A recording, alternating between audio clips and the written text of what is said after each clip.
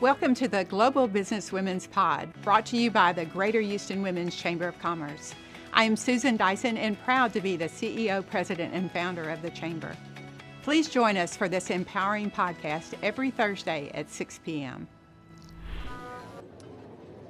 What a great looking crowd. Hello, everyone. My name is Jackie Bally. It is an honor and a privilege to be here.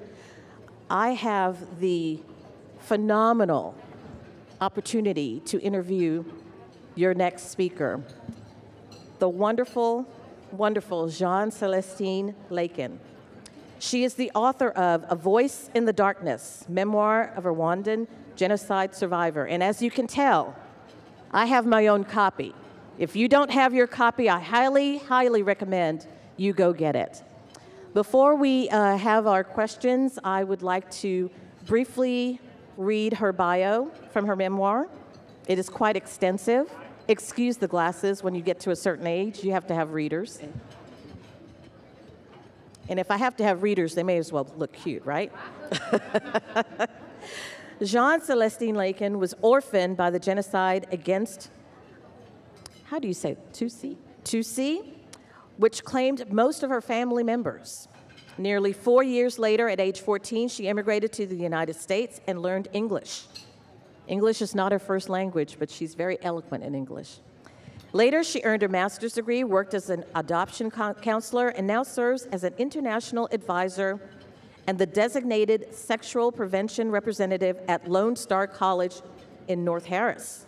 Refusing to be silenced by the darkness that isolated her, she advocates for peace and reconciliation while serving the disenfranchised and voiceless children of the world. Jeanne and her husband founded the charity One Million Orphans. Can we please give our next speaker, Jeanne Celestine Lakin, a round of applause? Thank you so much. You are so phenomenal. I read your book, and the message of hope just resonates throughout the entire book. You have been through so much. Can we start at the beginning and give our audience a flavor of some of the trials that you've had to overcome, particularly as a child? Thank you so much again for having me. So, I, when people ask me what I do and who I am, um, like all women in a room here, we just wear multiple hats, and that's just who we are. I am um, a human rights advocate. Um, I'm a mom, and I'm also an author, as uh, beautiful Jackie has uh, shared with you. Um, but I wasn't, you know, at the stage where I am right now as a human rights advocate. Uh, I want to take you back to Rwandan genocide against Tutsis in 1994. I was a nine year old uh, when the genocide took place. And uh, we were basically grew up in a family where my parents had all the resources that we needed as children. And um, in a matter of three months, Rwandan genocide claimed over one million people. And so we went from having everything a child could have dreamed of to living in the bushes, hiding with, with me. I had three year old twin sisters in the bushes for two months and a half. And uh, at the end of the genocide, I had lost both my parents. Uh, I witnessed the death of my father being killed with machetes and clubs in Rwanda. Seen my mother as well, her uh, dead body, and my three, uh, three week old uh, little brother. And so after I survived that genocide, I basically felt this. Um, I mean, we talk about PTSD and trauma. It was so severe that I literally felt like I was descending into this darkness in Rwanda as an orphan uh, in the streets. And so I came to United States. Um, luckily, came to United States, learned English as my fifth language, and um, was able to get my uh, bachelor's degree, my master's degree, and then. Um, published a book and working in education and continue to advocate again for uh, women's rights. So it's been a journey, uh, Jackie, and thank you so much again for uh, that question. That's briefly what I do, uh, and as you can see in the background there, um, me and President Bush, I've done a, quite a lot of things that I feel like um, if I did not forgive the pain that I experienced, I wouldn't be, I would not have been able to do the things I do today. Before we get to President Bush, because we will, mm-hmm. uh, let's go back to your childhood. When your parents, your family were killed, you were now the caretaker to your twin sisters at the age of nine.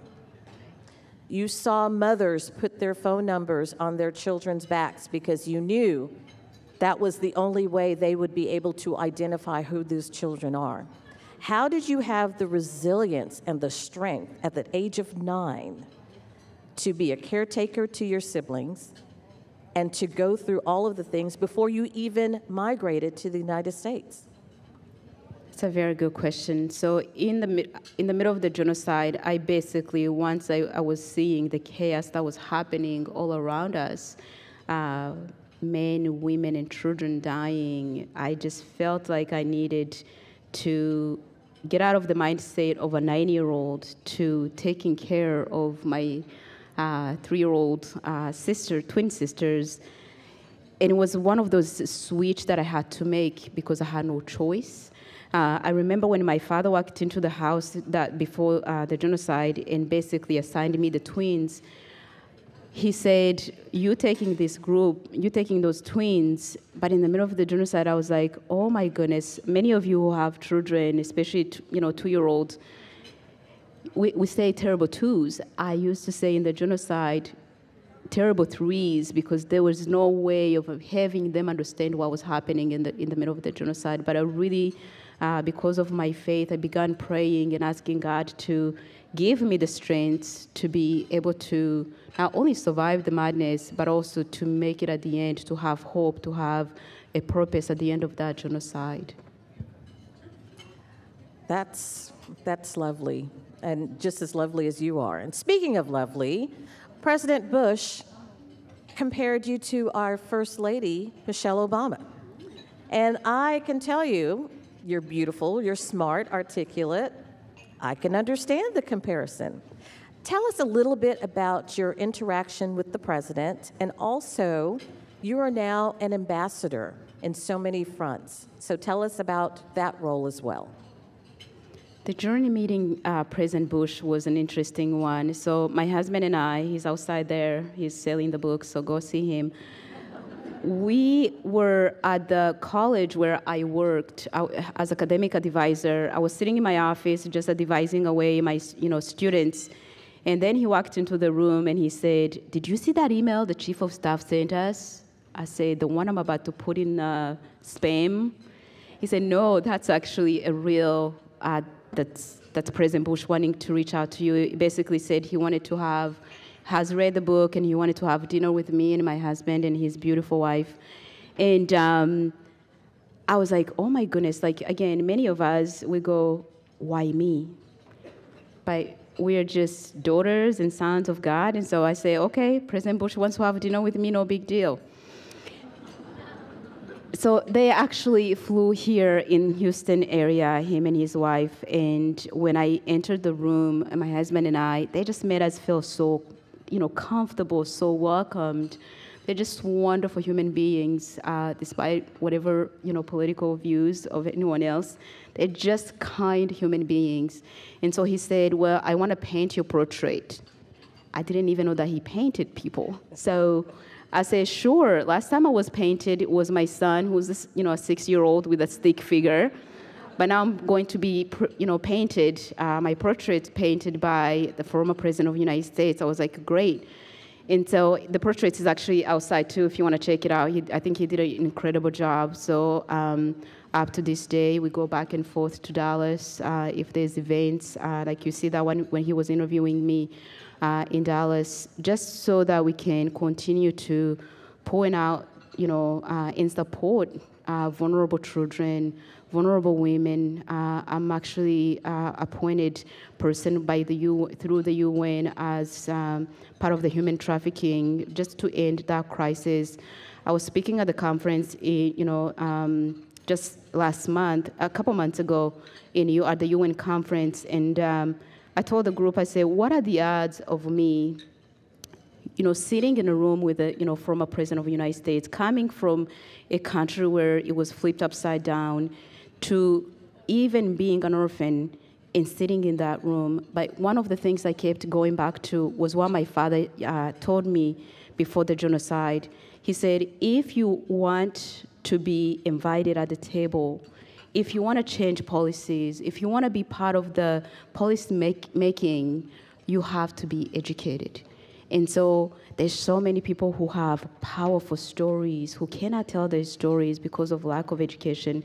And that's one of the things that I've been able to do for uh, women and orphans to really empower them to be able to tell their stories. Because as you share your stories, you just never know who you're going to empower. To see their, you know, I'm a genocide survivor, and if you read the book, you hear just the details and themes but the book is used in the you know high schools, universities, and it's incredible when you see you know young women or boys really coming up to me sharing their stories because I was able to.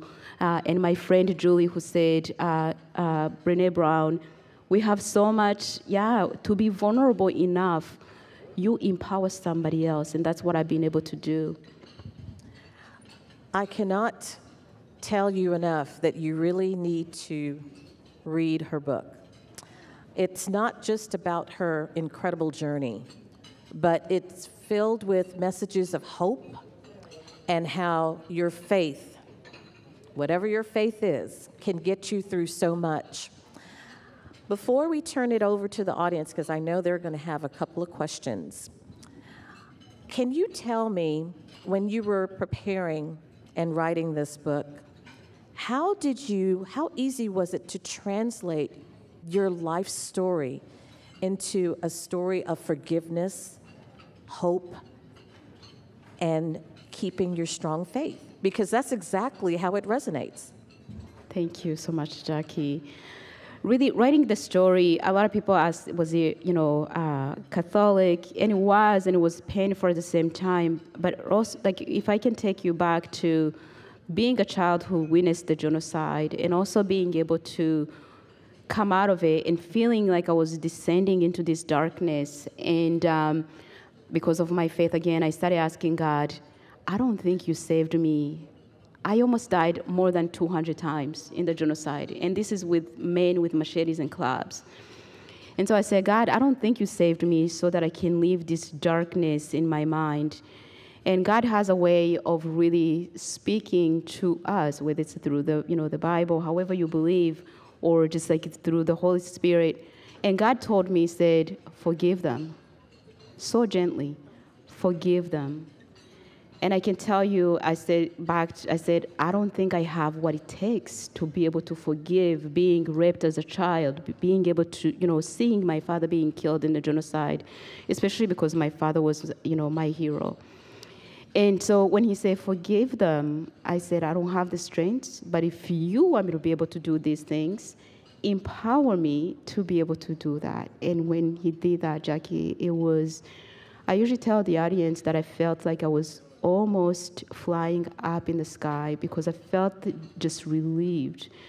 And when we forgive, when we have the ability to be able to forgive the pain that others have caused us, it's not for them, it's for us forgiveness liberates our souls. And so once I was able to forgive, I really felt like the, every potential was open for me.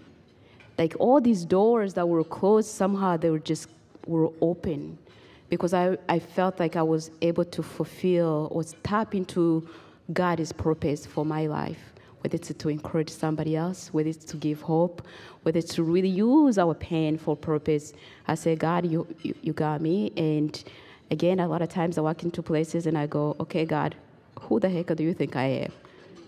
I'm a daughter of the, the high, most high king, God. So, what an inspiration you are to so many. And thank you so much for sharing your beautiful and wonderful story. And we will continue to watch and see you flourish and to bring so many other inspirational messages to all of us. At this time, I'm going to see if we have any questions from the audience. So, um, I'm, I'm, I'm an immigrant as well. I'm from Vietnam. A bit of me has a guilt that I'm here and living a good life, where, you know, the place where I came from, people are still somewhat suffering. Do you have that, and how do you deal with it?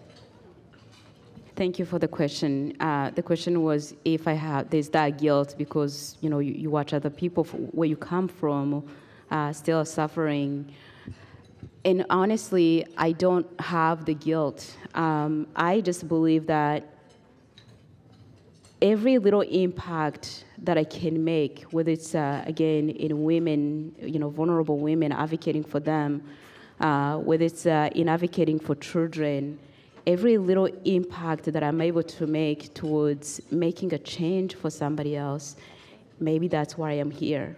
So I really don't feel guilty. I get involved in so many things. Um, I was just in uh, um, Vienna last year where we were talking about Ukraine, um, just the war in Ukraine. And I was in a room of people with a lot of powers and sharing my story and also asking them to have empathy as they approach the people of Ukraine when, like Jackie, you know, uh, confirmed, when you're seeing parents writing phone numbers on the backs of their children because they don't know when they're going to meet their children, what can you do? Every single one of us in this room has the power and the ability to make a change, to make an impact in other people's lives. We have the power to advocate, to educate, to make an awareness. Whatever issue that you're compassionate about, you can make an impact. And so, you, you, therefore, you don't feel guilty because you feel like, check, I've done these things for somebody else. Thank you. And if I can add to that as an immigrant myself, the people from our respective countries, they see us shine. And when they see us shine, they're shining with us, and we're lifting them all up. Absolutely. And so, you ladies, I'm included as well, those of us who are first or second generation immigrants, we are the vision and what our people are hopeful of? So that's a great question. Do we have any more? We do. Here I am. I'm so curious. I'm in the middle here. I see you looking for me. I'm curious. You know, we hear these stories and they are so gut wrenching. And I hear as a believer that you have an extreme amount of faith and belief for the future. But can you give us at least a lasting example of what's happening now that's putting a dent in some of the issues that you're championing? Can we hear some good news about what's going on in terms of um, sex trafficking, orphans? Give us some good news just to know that the stats we hear are not the only part of the story. It'd be wonderful to hear. Absolutely. Thank you for that question uh, as well. So with uh, we have like one million orphans, and if you purchase the book, you actually we give the proceeds towards those children. And, um, and that's one area we're making an impact. Um, you know, in, internationally, there was a, a, slowdown in getting children adopted overseas, whether it's the United States, adopting, you know, kids from different countries. But we decided that we meet those children where they are, uh, in the orphanage homes, supporting orphanages that supports those orphans. In terms of uh, uh, advocating for human trafficking, um, just being in the UN uh, setting, whether I am teaching trauma informed, one of the things I've done uh, when I, am in the UN setting is to advocate for not only to end human trafficking in general, but also to provide support for the survivors. I myself, as a survivor, what is it that we can do? Uh, one of the things that we I advocate a lot of times is to advocate for mental health really to have counselors, professional counseling for these individuals who have gone through you know, human trafficking because it's, it's severe. And my last point I want to make is that when you empower a woman, you're basically impacting not only a community, you're impacting a country, you're impacting society. Women are just the, the source of economy in a country. So you ladies, you have a lot of powers in your hands if you, you do not know. Thank you. Thank you so much for joining us. We will see you again next Thursday at 6 p.m. For more information about the Chamber and our podcast, please visit us at ghwcc.org.